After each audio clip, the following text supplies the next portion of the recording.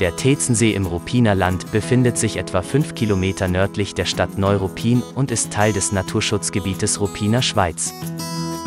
Er erstreckt sich über eine Länge von 1,5 Kilometern und hat eine Breite von 400 Metern.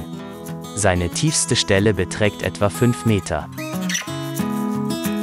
Der Tezensee wird vom Rhin durchflossen und schließt im Norden an den Zermützelsee und im Süden an den Molchosee an. Laut der Brandenburgischen Badegewässerverordnung wird die Badegewässerqualität des Sees als ausgezeichnet eingestuft. Die Sichttiefe beträgt aktuell etwa 40 cm. Am Tezensee findet man ausschließlich private Zugänge zum Wasser. Eine öffentliche Badestelle gibt es leider nicht.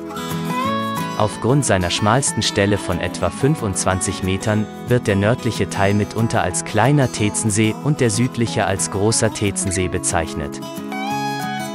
Der schiffbare See ist Teil der Ruppiner Wasserstraße und für Sportboote befahrbar.